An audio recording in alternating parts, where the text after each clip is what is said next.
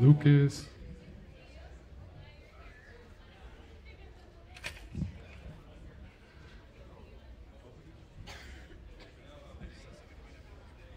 Okay. Come on. Like that's few. Wait. Oh, I can still. Check, check. I can still feel the energy back here. It's like good. It's gonna come in and get all this energy. Oh, that was beautiful. Is everyone present right now about like what just happened? Like all these beautiful people are here for you and for all of us. They have just so much information, so much knowledge, just so much grit.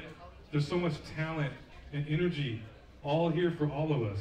Oh, and we still have a show going. Um, I got a brother. Everyone give a, a big love to um, this artist, humanitarian, activist, Luke Kohen. Uh, he's gonna he's gonna play a video of an up and coming movie. It's a documentary. It's a spoken word, um, and he's gonna tell you about this. Beautiful brother, known him for a while. I haven't worn this like in years. I bought this from him from Peru uh, that he got. He he's a, has an ancient heart, and uh, he's gonna give you some love. All right, aloha.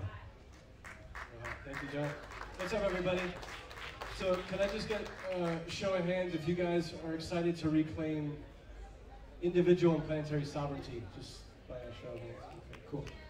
So, I'm, a passion, I'm passionate about where the individual path co connects with the we, where the I meets the we. I think this is the cutting edge of our time. What you're about to see is a spoken word piece that I shot in Bali during the pandemic with my brother Dargo, who's a B-list celebrity on Netflix, and shot by my brother Pete Longworth, who's worked with a lot of really uh, renowned authors and speakers. Uh, this is an unreleased piece, so you're seeing it here first before it goes live on the 22nd this month. Okay?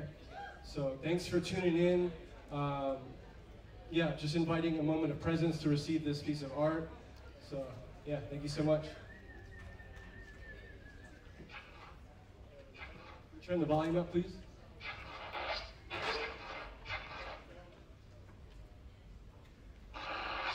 Fact check your fact checkers. Oligarchies have been playing chess, not checkers. Follow the money. Fact checks on record. Fact check big media, big pharma, big tech. All weapons. Overwhelming evidence, inconvenient truths like Building 7 and 9 11. Victims made wrong while politicians and celebs stay glorified among systems still oppressive. The rules don't really apply to them. Social media snatching attention, bipartisan politics funneling our focus into polarized segments like two sports teams playing under the same management. Alternative narratives offering a perspective, illuminating the potential for insidious agendas get written off as conspiracies. It's like we got a compound fracture inside of our society. Both sides are perceiving harm, and a new epidemic is born. Of empathy or mutual regard. A person's lived experience is as sacred as their own relationship with God. Yet this clash made a line in the sand, one big worldview war. So much chaos got the masses begging for a new world order. People shifting into Agent Smith's defending the matrix. Forgive them, for they know not what they do. Got fluoride in their water and poison in their food. All opposing beliefs are just the point of view. Whistleblower journalism fading like indigenous languages, so the people turn to propaganda, pushing us on both sides. One's just more socially acceptable than the other people caught in the crossfire don't know what to do or believe, and that's when hope dies. Families ripped apart, communities splintered, fighting for beliefs so strong that obviously they're the one who's most informed. No more public forums, just a place of shame and scorn. No more discussions, critical thinking, or the art of debate. Just a whole lot of wrong making, a whole lot of blame. Defended, righteous, divided states. Are we awake or in a trauma state? Triggered Planet Twilight Zone episodes, global phenomena, Earth, a place called home, the unvaxxed with feelings surfacing similar to Jews in World War II. Oh, don't you even compare that. Wouldn't you care that? There's another version of dehumanization happening, polarization. Nobody likes to feel that. No circumstance should ever justify it. Kind of hard to see when you're in it. The shadow of pain and fear cast upon your neighbor's back, sanctioned toxicity and personal attacks. And who am I to choose if what I choose goes against the president? And when did so many liberals opt in for censorship when they're supposed to be the protagonists, protectors of free speech? Please. You're now bad for not doing what we say. Shut up. Obey. It's safe. Just take it. It's safe. Just take it. On repeat. Don't trust what we say? On repeat. Don't want to trust what we say? Okay. Now you can't play. We'll restrict your basic need for connection, ability to provide for your family, or travel freely. Tribalism and ostracization, black sheep of the family forced deeper into isolation. But no, it's not political. And how dare you for being defiant? You're risking lives by being alive. My body, my choice, my bloodstream, our rivers, her waters, natural medicines, cures that take time. We're never rushed like the seasons, but y'all want an endless winter and winter's coming. That brings flu season. No, wait. Whatever happened to that? Getting the jab might be kind of like getting warm blankets with smallpox in, in, in the middle of January on native lands back before Uncle Sam fully landed. No, I'm not a denier. I'm just confused why so many would side with the colonizer, as if Pfizer and these other companies actually give a about anything other than their numbers. And no, I'm not anti-that, I'm pro-observation. I got no tin hats. I'm just asking questions, seeking answers, taking time, attacking each other's characters for differing paradigms lack spine. Do what's good for you.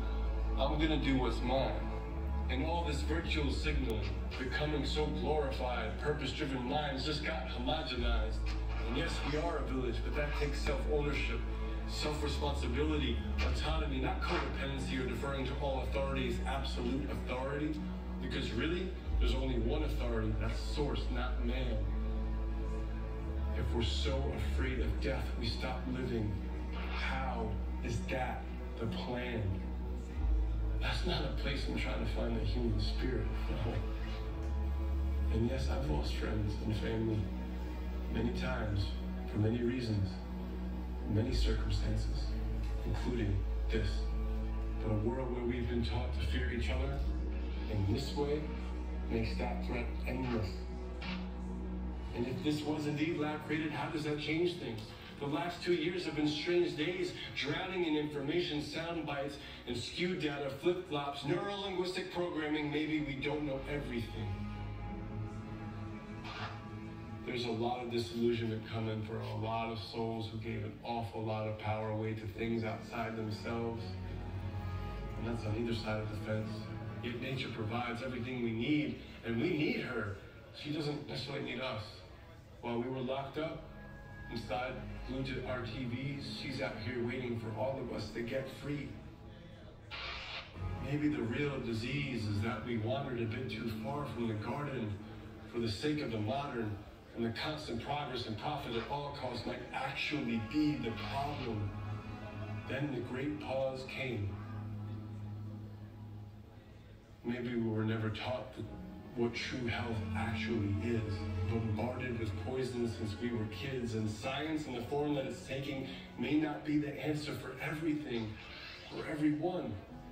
People neglected like children under toxic parenting, lockdown, go to your room, you're grounded for existing on this would-be prison planet that's still a garden.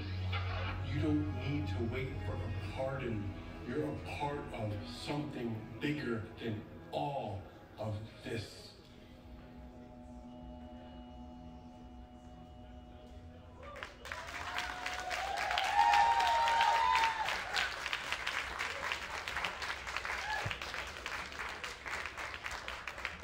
Thank you guys so much.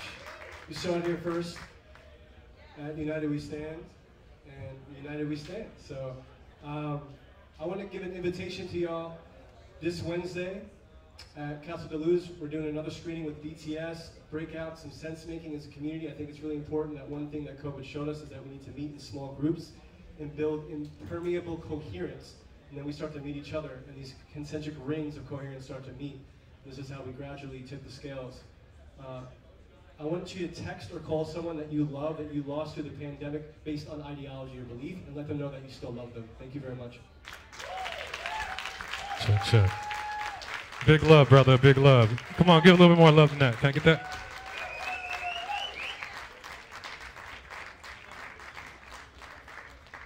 Yeah, that's a lot of work and a lot of energy. Got to give love to the people who are.